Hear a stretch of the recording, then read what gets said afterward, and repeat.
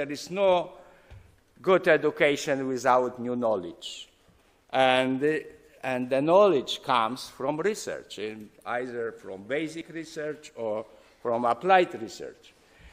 And this is particularly the case of graduate education, the master and PhD level.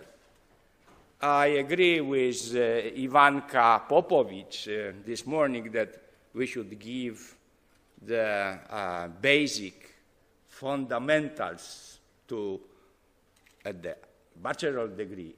However, I see many good examples when we are getting, even at that level, uh, bachelor students involved in the research.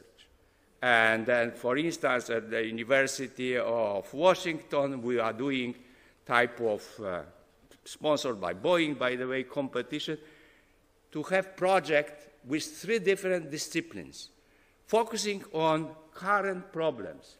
So boosting the uh, imagination and uh, encouraging to, to work together.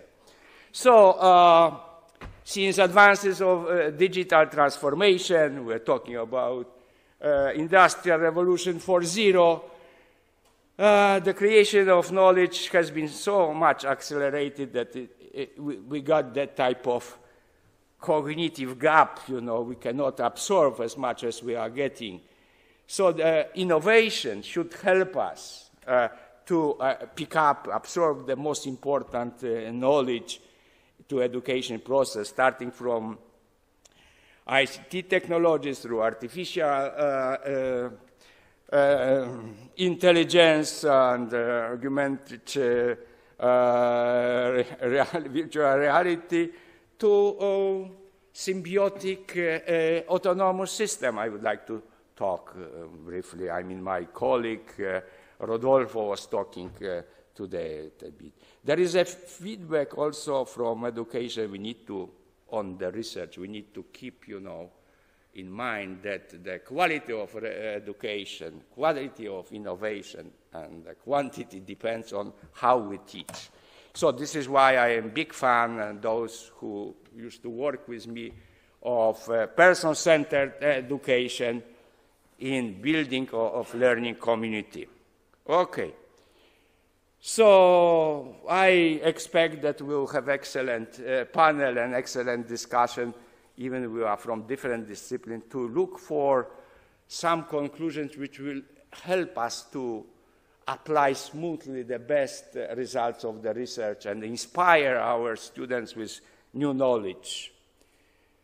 Preparing myself for this uh, uh, session, I was inspired by two events. One uh, happened on uh, October 14 when the Royal Academy of Science Nobel Committee announced uh, the award in uh, economics.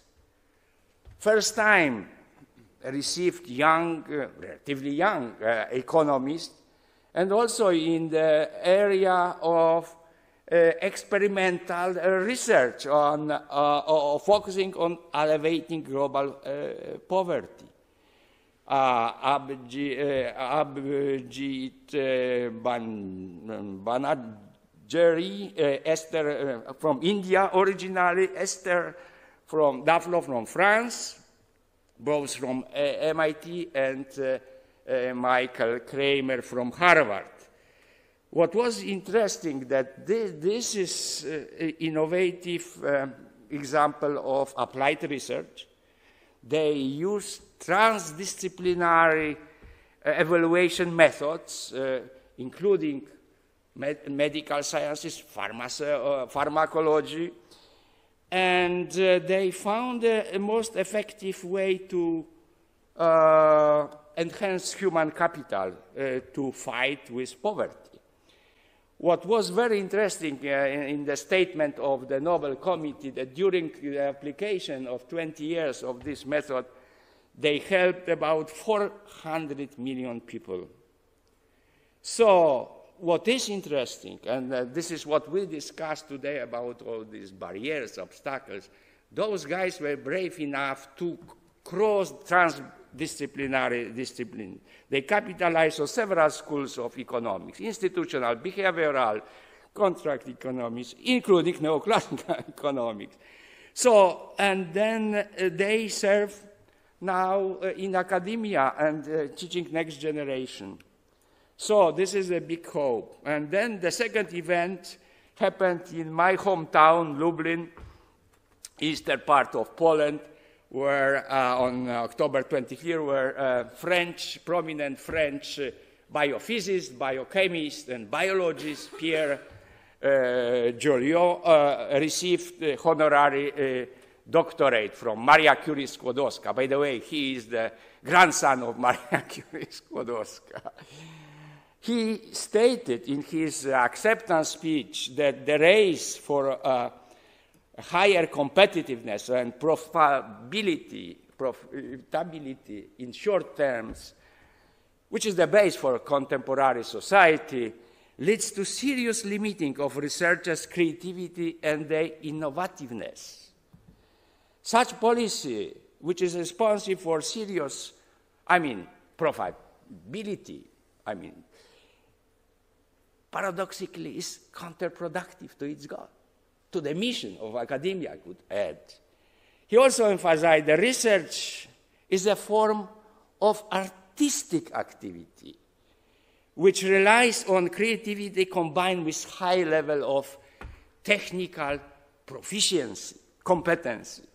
And finally, he said, the effective research system based on sustainable interactive between two types of research, basic and applied, will grant, uh, uh, uh, the, uh, you know, is very uh, critical and depends to large extent to design such evaluation process that will grant sufficient space for young researchers with their freedom and creativity. So again, the research comes to education, how we shape in education process new researchers, whether they are open-minded, they're, they uh, risk takers, and so on. Okay, so how to get uh, uh, access to new knowledge? You know, you are teaching uh, uh, particular graduate courses, where first of all you need to mobilize your own faculty to do research and share the research and get students involved in, the research, particularly at the master and PhD level. In fact, you know, we in the US, we, we, the most the research is done by our master and PhD students uh, encourage uh, faculty members and student to take uh, advantage for uh, MOOCs. I guess it was mentioned many times. I don't need to explain this. I mean, particularly from the top university. I mean, Stanford started 2012 with Coursera, Harvard with edX, and other, MIT with OpenCourseware. We have now over 700 universities offering over 10,000 courses. I didn't check all 10,000, but I am sure that those from the top universities are worthy to learn. And then having the access to them, you can skip repeating these texts and focus what comes out from your own research. Because this is the best inspiration for students when they are coming fresh results from your research. And then applying artificial intelligence to faculty uh, and students, self-learning, self-examination, and teamwork. You can do a lot of with AI in terms of time scheduling and so on and so on. And finally, uh, emerging innovation, symbiotic education with digital twin. This is something what uh, inspired me at the conference organized by uh, Rodolfo Fiorini in, in Milano. This uh, uh, two professors, uh, Canadian Kintzner and Italian Saracco, presented the model. Okay, time to finish. Okay, good. So let me summarize this. Uh, to help to cope with the doubling knowledge very often now, every 20, 30 years. We expect that within 10 years, maybe they will be doubling within one year or 18 months. So we could use the symbiotic digital twin, uh, complementary uh, digital relations between individuals and digital twins. You know what is digital twin? We have already uh, applications in, for machines, but also we don't know how look our digital twins uh, possessed by intelligence agencies, marketing agencies. We already have digital twins. We need to be aware. But if we would be able to uh, apply in education, we can speed up the process to focus on personalized needs instead of going through all this. So this is a great opportunity and, uh, and uh, challenges, including uh, correcting unethical behavior. I mean, it could be from intelligence company uh, already practicing uh, digital twin. And barriers and threats. Uh, um, yeah, I mean, it's difficult to find uh, faculty teaching, uh, doing research. We need to find good incentives. Uh, we need to uh, also build uh, confidence in our partners, uh, private companies, public companies, and in which we want to do research and help them. And then we need to be aware. we, I, I heard not enough, I believe, to, to mention at the end. We are facing a gray, uh, growing wave of nationalism, xenophobia, intolerance, and then leads to the changes in national curricular reforms in some countries. Unfortunately, it's happening to, to my country uh, when you see the, in the uh, recommended framework curricula for the first, third grade that the main goal of education is teaching patriotism. And for the classes from the four to, to six, the main goal is to increase national identity. What type of citizens we, we will educate? A lot of history, a lot of old stuff, and instead of openness.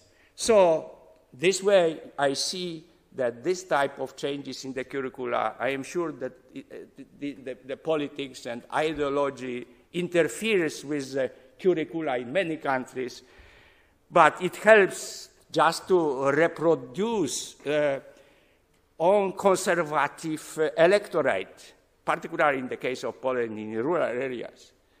Thanks God we have dynamic growth of uh, private and non-public schools which follow the universal human values, you know, uh, in their curricula with uh, person-centered approaches.